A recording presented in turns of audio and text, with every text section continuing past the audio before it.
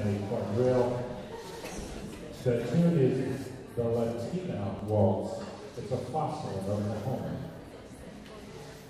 Named after me, I think. Okay. Here we go.